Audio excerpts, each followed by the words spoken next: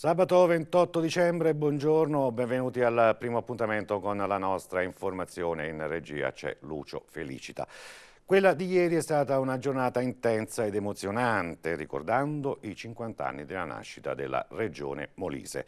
L'autonomia della regione, ha detto il ministro della difesa Mauro, arrivato in occasione delle celebrazioni, non è a rischio.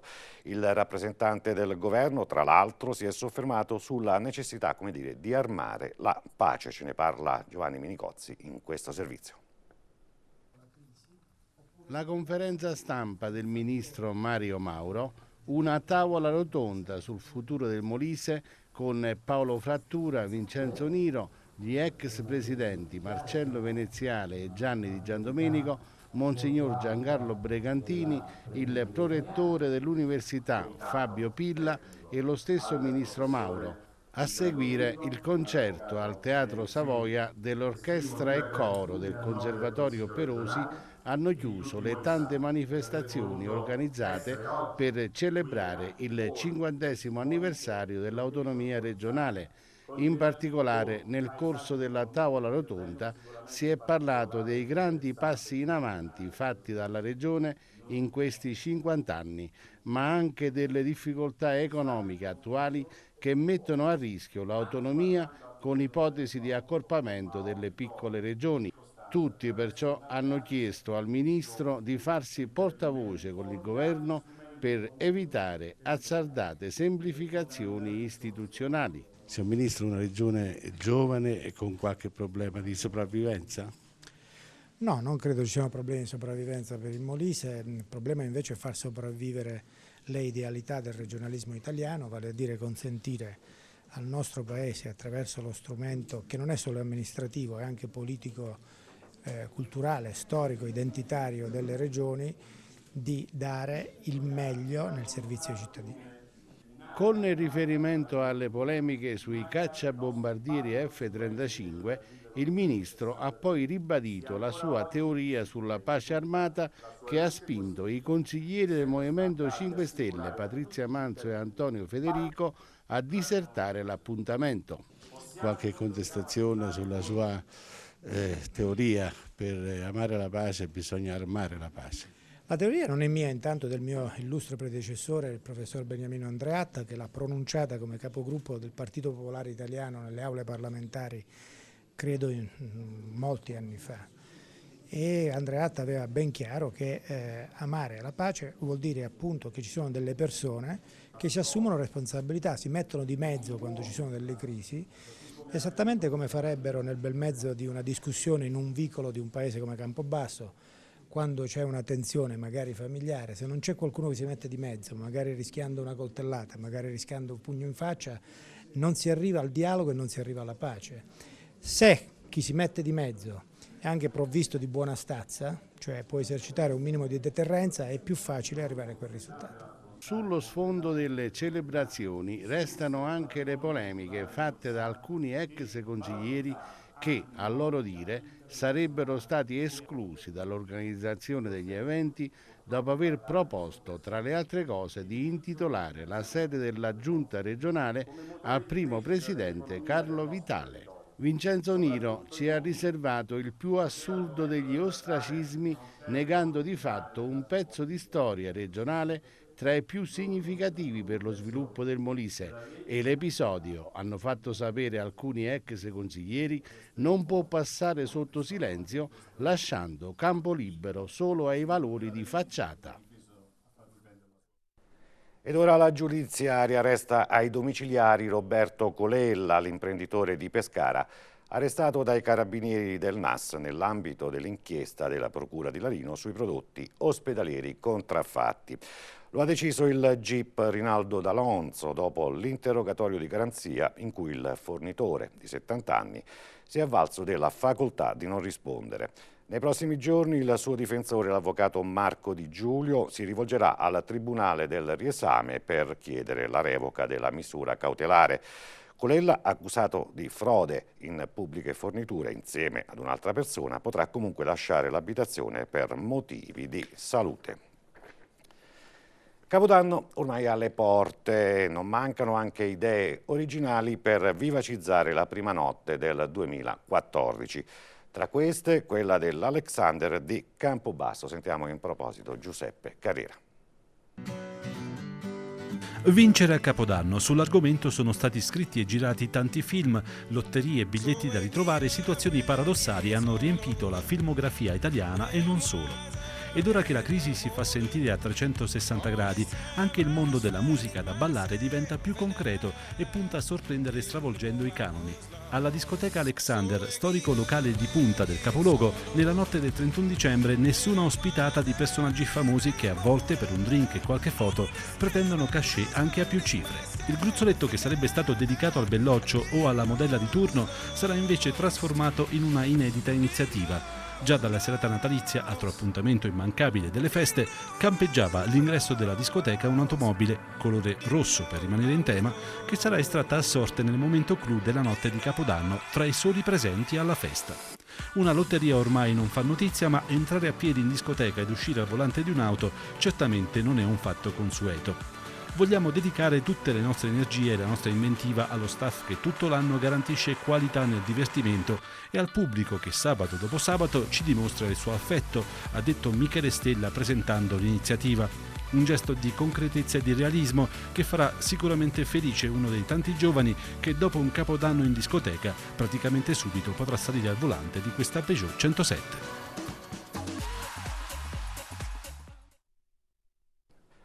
44 tappe distribuite su tutto il territorio e divise tra visite guidate, mostre, sale espositive, iniziative di animazione, degustazioni e menù particolari. È una sintesi del programma A Very Special Christmas, il Natale molto speciale in programma a Ielsi. Da questo pomeriggio e fino a tarda notte il paese sarà animato da decine di eventi, mettendo in mostra anche la realtà imprenditoriali e artistiche del territorio. L'iniziativa è organizzata dal Comune di Ielsi in collaborazione con numerose realtà associative. Bene, con la nostra informazione ci fermiamo qui. Adesso la rassegna stampa. Iniziamo con il giornale del Molise.it. In evidenza il Molise celebra i suoi primi 50 anni, la sede della regione intitolata Carlo Vitale.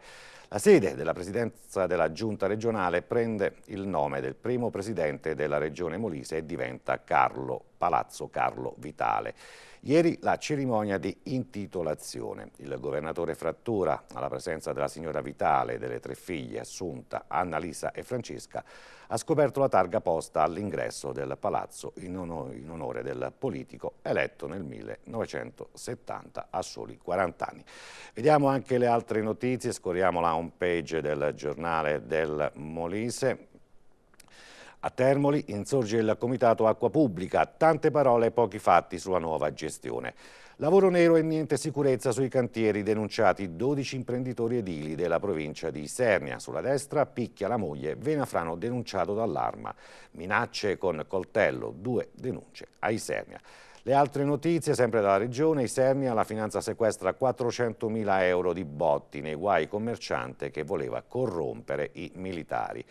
Furti in appartamento, 34enne di Isernia arrestato dai carabinieri. Poi si parla del successo per il presepe vivente di Carovilli. A Montenero di Bisaccia grande successo per la trentesima edizione del presepe vivente nelle grotte arenarie.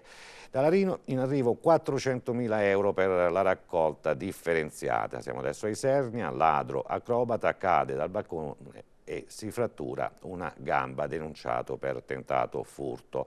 Si parla anche dell'autovelox di Macchia di Serna, la Fiadel, illegittimi i verbali a carico di chi ha presentato il ricorso.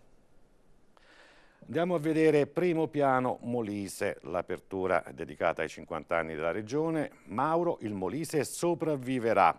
Ospite per i 50 anni della regione, il ministro rassicura sull'autonomia ma invita a guardare oltre i confini. La visita del titolare della difesa, grande sponsor degli F-35, degli aerei F-35, è stata accompagnata dalle critiche di Pax Christi e Grillini.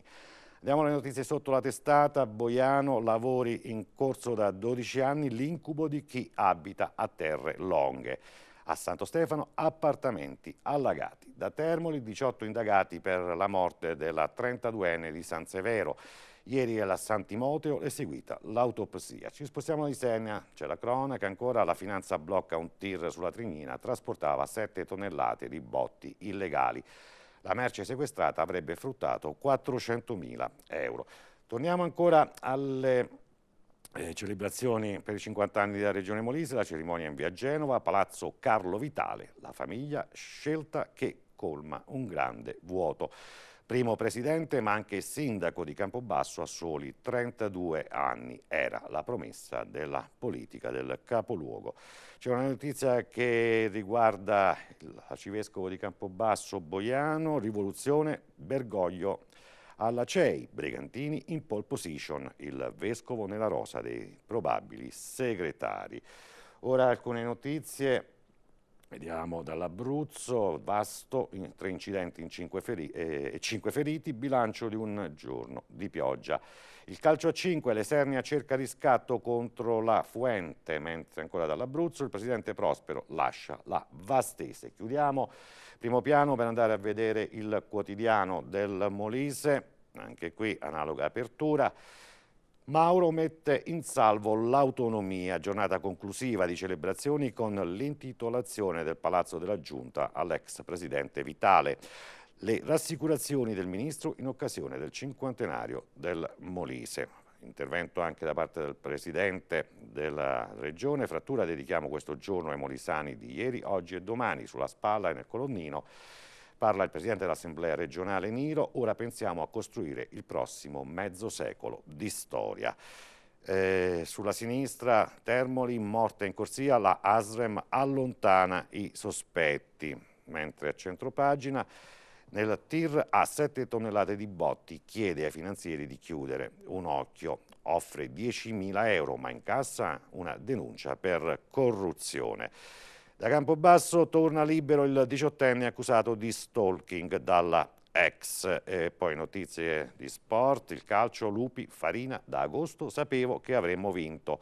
C'è anche uno speciale sul quotidiano Un anno di Isernia, dalla salvezza alla speranza di rilanciarsi. Ancora Serie D, Miani spinge il Termoli. A gennaio partiamo forte, dice. Fine il calcio a 5, Sernia arriva in Lucera per l'ultima del 2013. Chiudiamo anche il quotidiano per dare uno sguardo al Sannio. L'autonomia va difesa in un'ottica europea.